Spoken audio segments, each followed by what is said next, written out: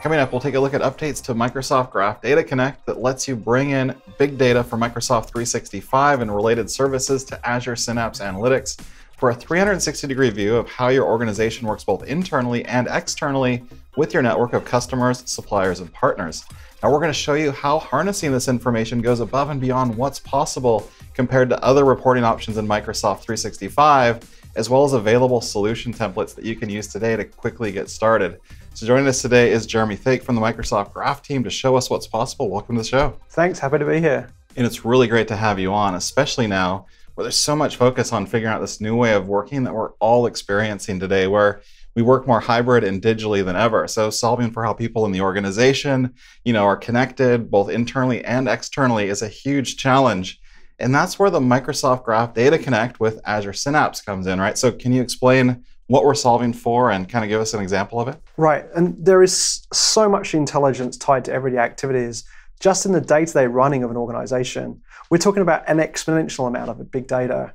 Um, this can be really useful to understand how communication works inside and outside of your organization. For example, uh, you might have a strategic partnership with an external organization and want to try and understand the strength of that relationship.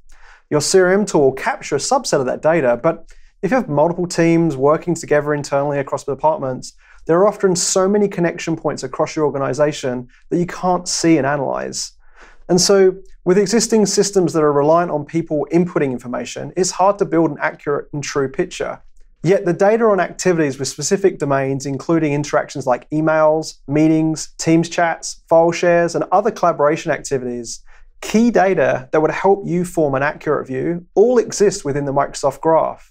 It's just that getting to it has always been a challenge. You could try to connect to it via the Microsoft Graph API, but again, this is big data, so the throughput needed to harness this data at a meaningful scale will be limited. All this changes with Microsoft Graph Data Connect using Azure Synapse Analytics which now makes it seamless to access the data and perform large scale analytics and machine learning, all with the privacy and security built in. Right. So now you can kind of unlock all of that valuable insight that's held into that data and tap into that.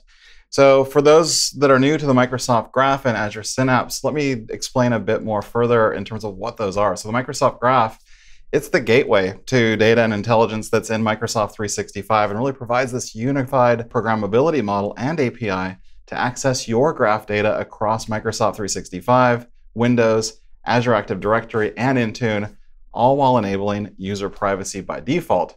Now it can securely tap into the data that you own and manage from calendaring, file sharing, email, directory services, collaboration, and more. Then Microsoft Graph Data Connect actually lets you bring all of that big data into your Azure storage and directly connect to it via Azure Synapse, Microsoft's limitless analytics platform. Now, this all provides a single managed environment that your data engineers, your data analysts, and also your data scientists can use to analyze and integrate insights into their apps or reporting solutions. In fact, it's how Microsoft apps themselves, like the Microsoft Viva Suite and also Microsoft 365 apps, and much of the reporting that you're going to find in the Microsoft 365 Admin Center work as well to bring you insights unique to your organization. Right, and we give you access, the same secure access to the breadth of data in Microsoft Graph versus the out of the box experience. We give you access to all the organizational data for your analysis. And because this is, can be a massive amount of data to load, transform, and analyze, Azure Synapse as a big data analytics service is able to bring everything together for you at scale. So, can you walk us through then what's possible when you bring the Microsoft Graph together with Azure Synapse? Absolutely. And to be honest, there are limitless possibilities. One of the most powerful use cases we've seen organizations start with is a building a customer 360 solution. Here you're looking at a Power BI dashboard we've built as a 360 degree view of our sales accounts.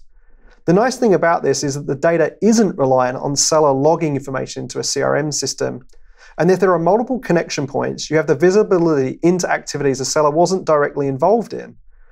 You can see the number of high priority accounts, account of the ones that need some attention, and how many are good in standing. Below that, you'll see we've developed a connectivity score that rates how well connected we are across our teams to these accounts. It's looking at things like number of activities, touch points with influential stakeholders from leadership's teams, transactions, and more. We can see what's going well and what's not going so well from the score standpoint. Below that, you can see the gap since our last activities, and immediately you'll see some correlation. For example, Fabrikam Resonances here has the longest gap, and they also have the lowest connectivity score. And this is an interactive report, so I can filter on the transaction size using this slider, and these now represent our biggest accounts. If I dig into the details here for this account, Munson Pickles, you'll also see we've mapped our sellers, account contacts, and executive contacts. The event tracker shows activities by month, and on the right, we see the top relationships, interactions, and whether we've met with their leadership in the last six months. And that's looking red, and it shows the next best action to re-engage with this account. So as you can see, we need to do some work to improve our connection with our leadership teams. Right, and this is really powerful information. But besides kind of reminding the seller they need to get back into contact with that account, what else can it do? Yeah, absolutely. There are so many different ways to use this, whether you're a sales manager or a seller. Uh, this is really helpful as a seller on our team who has left their role, and now we can give this dashboard to the new account manager. Now, instead of all the ramp up time it takes to meet a bunch of people and maybe go down some dead ends, they'll see exactly who's active. They can see the best people to get in touch with at Munson's, as well as executive contacts and other sellers. This will really help the new seller get up to speed much faster, especially if the person who left wasn't diligent at logging all these interactions with Munson's team in the CRM system. Right, and this is something that I can really relate to having managed CRM systems in the past. You know, they only show a small snapshot of all the activities that are going on between a couple of accounts, but can you show us the data that's kind of behind all of this? Yeah, absolutely. Um, all of this data behind this is running in Azure Synapse Analytics, and we're pulling raw information from the Microsoft Graph. I'm in the Azure Synapse workspace here, and first, let me show you what's in the Data tab. I'll go straight to the primary data from the Microsoft Graph. Most of what you're seeing here has been flattened into Parquet files so that we can reason over it. Next, I'll show you what's in the Integrate tab with our pipelines for events, which are looking across calendar activities and messages. And for this scenario, we're only bringing in the sender, receiver, and the date properties of the messages. We don't need to have the message content. You can configure what properties you bring in to meet your data privacy needs, something you cannot do with the Microsoft Graph APIs. Then in the Develop tab, you'll see all of our notebooks to process the data from the graph. These are all Python-based running in a Spark pool, and they are all part of that template. And while we do provide the Power BI reporting as part of the template, Bringing this data together unlocks an unlimited number of additional possibilities, like you might get from merging things like a ticketing system or an auditing system. And these are all really great examples, especially if you're a developer or an analyst. But how did you bring all of that graph data into Synapse?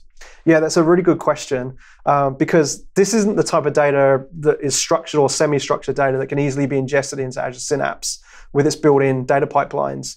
This is where Microsoft Graph Data Connect comes in. Included with Microsoft Graph Data Connect are native controls to precisely filter the data you need, with granular consent as mentioned, down to the property level within each data entity. Then it uses Azure Synapse to copy Microsoft 365 data to your Azure storage at configurable intervals. Because when you're accessing such large amounts of data from multiple users at once, to avoid throttling, we break up the data requests into several concurrent API calls and continuously copy the data in batches. This all happens at a rate designed to avoid throttling.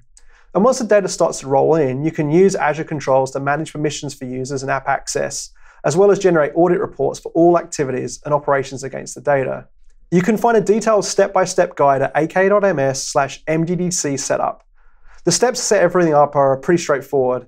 First, you need to enable the Microsoft Graph Data Connect service in the Microsoft 365 Admin Center. In the Entra portal, you'll create a Microsoft Azure Active Directory app registration that will be used as a security principal to run the data extraction process. And then you'll need a place to store your data using an Azure Storage account. Then you'll set up your Azure Synapse workspace that you'll use for ETL and analytics against the graph data in your Azure storage. And once everything is running, data will flow in and updates are automatically triggered on a schedule that you can configure. Okay, so now that you've got the foundation in place, how would you build out a B2B solution like we saw before? Right, it's pretty straightforward. We've, we've made it really easy for you and have built an Azure Synapse template for you. You can find it in the workspace gallery to quickly get started. Uh, you'll walk through a few basic steps to get this set up um, and, and point to your own Azure Storage account where the graph data is coming in. And once everything is running, in addition to the Power BI reporting and visualizations I showed earlier, you can combine it with other data sources and pipe this same data into your own custom applications or create directly within the Azure Synapse workspace. In fact, let me show you a few more examples with some raw data queries.